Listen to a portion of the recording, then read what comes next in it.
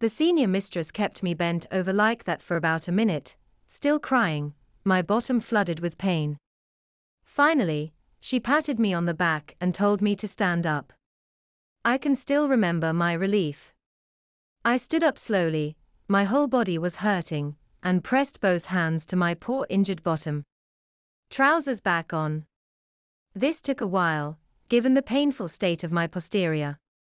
Eventually I stood, still tearful, facing Mrs. Seaton. My hands were carefully massaging my smarting rear.